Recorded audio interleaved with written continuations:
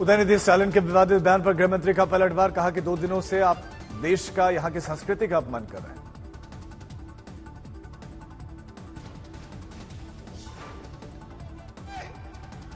Vote bank की और तुष्टिकरण की राजनीति करने के लिए सनातन धर्म को समाप्त करने की बात की है। उदयनिधि स्टालिन पर विवादित बयान पर बोले जेपी नड्डा कहा कि घमंडी गठबंधन की सोची समझी राजनीतिक रणनीति है ये। क्या घमंडिया गठबंधन का ये सोचा समझा राजनीतिक रणनीति है क्या कि सनातन धर्म को समाप्त करो? सनातन के खिलाफ उदयनिधि के बयान पर बोले आम आदमी पार्टी के राज्यसभा सांसद संजय सिंह कहा कि सभी धर्मों का सम्मान करना चाहिए। चिराग पासवान ने भी उदयनिधि के बयान का विरोध किया, बोले कि उनका यह अशोभनीय बयान है जिसका भारत के सभी नागरिक विरोध करते हैं।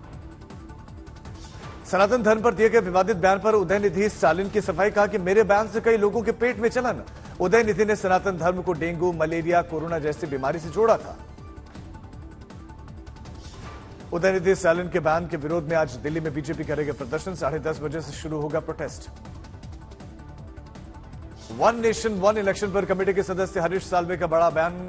शुरुआती अभी, और कहा कि इस पर मंथन बहुत ज़रूरी। है कमेटी के सदस्यों का नाम सामने आने पर चिड़ा घमासान। लोकसभा में नेता विपक्ष अधीर रंजन चौधरी ने कमेटी से हटने का फैसला लिया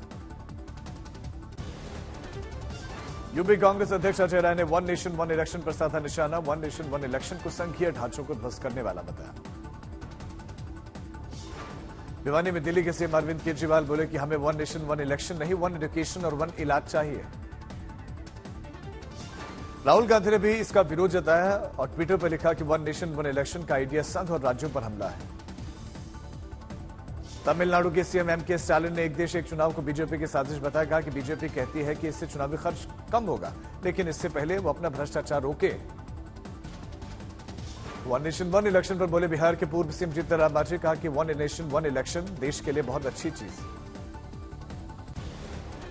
जी ट्वेंटी से पहले साक्षात्कार में प्रधानमंत्री मोदी का बयान जी ट्वेंटी की अध्यक्षता मिलना भारत के लिए बड़ा अवसर, सबका साथ, सबका विकास, मूल मंत्र, दुनिया देख रही है भारत की ओर। जी ट्वेंटी पर चीन पाक के ऐतराज को पीएम ने किया खारिज, कहा कि देश के हर हिस्से में बैठक स्वाभाविक प्रक्रिया, बोले कि हमारे दिल में, दिल के करीब है ये आयोजन। प्रधानमंत्री ने दो तक भारत को विकसित राष्ट्र बनाने का संकल्प फिर से लिया। सांप्रदायिकता पर बोले कि देश में सांप्रदायिकता के लिए कोई जगह नहीं। रेमडी कल्चर पर पीएम का तीखा हमला कहा कि गैर जिम्मेदार वित्तीय नीतियों से चुकानी पड़ सकती है आर्थिक कीमत। रूस यूक्रेन युद्ध पर बोले प्रधानमंत्री मोदी, कहा कि संघर्षों का हल करने का बातचीत और कूटनीति ही एकमात्र तरीका। दिल्ली के उपराज्यपाल वी के सक्सेना ने जी ट्वेंटी की तैयारियों का जायजा लिया। आईटीपीओ कन्वेंशन सेंटर में principal secretary P K Mishra के साथ निरीक्षण किया। दिल्ली पुलिस कमिश्नर संजय अरोड़ा ने भी राजघाट पर जाकर कमान संभाली। एलजीबी के सक्सेना और पुलिस आयुक्त ने ट्रैफ़िक समेत सुरक्षा की तैयारियों का जायजा लिया। एलजीबी एलजीबी के सक्सेना ने वाटरिंग मशीन का मुआयना किया। वाटर लॉगिंग की समस्या ना हो, इसलिए अहमदाबाद से म्यूनिसिपल कॉरपोरेशन से आधा दर्जन गाड़ियाँ मंगवाई गई हैं। दिल्ली एयरपोर्ट के टर्मिनल थ्री पहुँचे उपराज्यपाल वीके सक्सेना और principal secretary P K Mishra G twenty summit को लेकर टर्मिनल थ्री परिसर का निरीक्षण। जी ट्वेंटी शिखर सम्मेलन में पहुँचने वाले विदेशी मेहमान टर्मिनल थ्री के रास्ते आएँगे बाहर। 9 और 12 सितंबर को दिल्ली में होनी है जी ट्वेंटी समिट। दिल्ली के सरोजनी नगर मार्केट में दुकानदार भी जी ट्वेंटी के मेहमानों के स्वागत के लिए तैयार। विदेशी मेहमानों को खरीदने पर देंगे 50 प्रतिशत का डिस्काउंट। मार्केट में सौंदर्यकरण और देश के झंडों को लगाने के लिए एलजी और एनडीएमसी को लेटर लिखा गया। सरकार या एनडीएमसी इजाज़त दे तो अपने खर्चे पर ही मार्केट का सौंदर्यकरण करने के लिए तैयार। दिल्ली पुलिस और रैपिड एक्शन फोर्स ने जाफराबाद और जी ट्वेंटी मेहमानों के स्वागत वाले इलाकों में किया फ्लैग मार्च। सुरक्षा व्यवस्था पर रखी गई पैनी नज़र। दिल्ली के मोतीबाग में जी ट्वेंटी सम्मेलन की तैयारियों का पीडब्ल्यूडी मंत्री आतिशी ने लिया जायजा। बारीकी से परखा कामकाज। गुरुग्राम में G twenty fourth sherpa meeting शुरू, रोबोट ने किया मेहमानों का स्वागत, द्वार पर लगाए गए विष्णु जी की भव्य मूर्ति। भारत ने नेपाल के बीच में एशिया कप का मुकाबला आज भारतीय समयानुसार दोपहर तीन बजे से शुरू होगा मैच। कैंडे में भारत नेपाल मुकाबले से पहले आसमान में छाए बादल। मौसम विभाग के मुताबिक पूरे दिन बारिश की संभावना। बारह में पंडित धीरेन्द्र शास्त्री का रोड शो, खुली गाड़ी में निकले बागेश्वर धाम, लोगों का अभिवादन किया स्वीकार। दिसंबर तक आएगी ज्ञानवापी सर्वे पर एएसआई की रिपोर्ट। एएसआई ने वाराणसी जिला अदालत से मांगी आठ हफ्तों की मोहलत राजस्थान के धौलपुर में देखिए, श्रीकृष्ण जन्मोत्सव की अनोखी तैयारी मुस्लिम भाई बना रहे हैं। श्रीकृष्ण और राधा की आकर्षक पोशाक। लंदन के जय श्री राम श्री मंदिर साउथ हॉल में तेईसवें श्रीकृष्ण जन्माष्टमी शोभा यात्रा का आयोजन। मंदिर पहुँचे ब्रिटेन में भारत के उच्चायुक्त दोराई स्वामी ने आशीर्वाद दिया लेफ्टिनेंट जनरल अजित नीलकांतन ने दिल्ली के army hospital research and referral की संभाली कमान 2014 में chief of army staff commendation से किए जा चुके हैं सम्मानित करौली में बीजेपी की परिवर्तन यात्रा का भव्य स्वागत कार्यकर्ताओं ने जेसीबी पर चढ़कर फूलों की बारिश की। यात्रा में महिला कार्यकर्ता ने चलाया ट्रैक्टर, बीजेपी नेताओं ने गहलोत सरकार पर जमकर बोला हमला।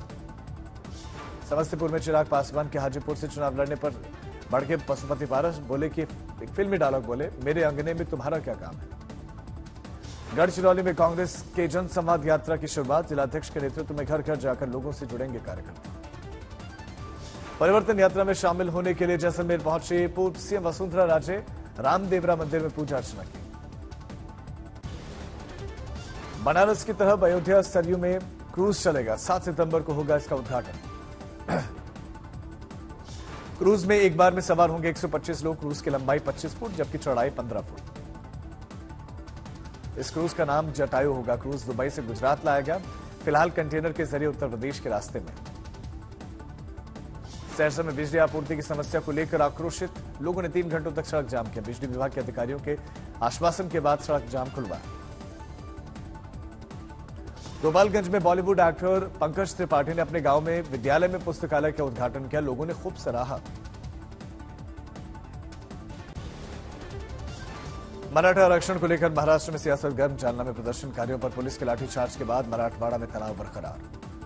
मराठा आरक्षण को लेकर औरंगाबाद बंद का ऐलान, औरंगाबाद में कड़े सुरक्षा के इंतज़ाम किए गए। सीएम एकनाथ शिंदे और जालना पुलिस लाठीचार्ज की जाँच एडीजीपी से करवाने के आदेश दिए गए। एसपी पर एक्शन लेते हुए अनिवार्य आकाश पर भेज दिया गया।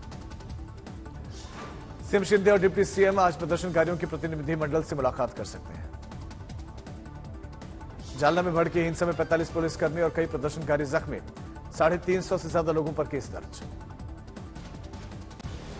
जी ट्वेंटी समिट को लेकर प्रगति मैदान में लाइटिंग हुई, रोशनी से जगमगा उठा मैदान। बीजेपी की परिवर्तन यात्रा का तीसरा चरण आज से जोधपुर में। रक्षा मंत्री राजनाथ सिंह दिखाएँगे हरी झंडी। मध्य प्रदेश के दौरे पर आज रक्षा मंत्री राजनाथ सिंह नीमच में जन आशीर्वाद यात्रा में शामिल होंगे। मध्य प्रदेश में विधानसभा चुनाव की तैयारियों को लेकर निर्वाचन आयोग आज भोपाल के दौरे पर चुनावी तैयारियों का जायजा होगा। सीएम शिवराज सिंह चौहान आज उज्जैन में महाकाल का दर्शन पूजन करेंगे। सुबह नौ बजे से पूजा होगी शुरू।